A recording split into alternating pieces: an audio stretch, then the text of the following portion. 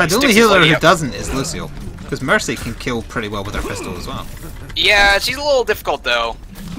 No fall off shots. Long range headshots for days. That's great, but her bullets like fly at a mile. I did it! I like, did it! 30 hours. I legit got a basket! There you go. Yes! I saw you. I had the perfect camera angle for it as well. In your faces, everybody who's got one via cheating.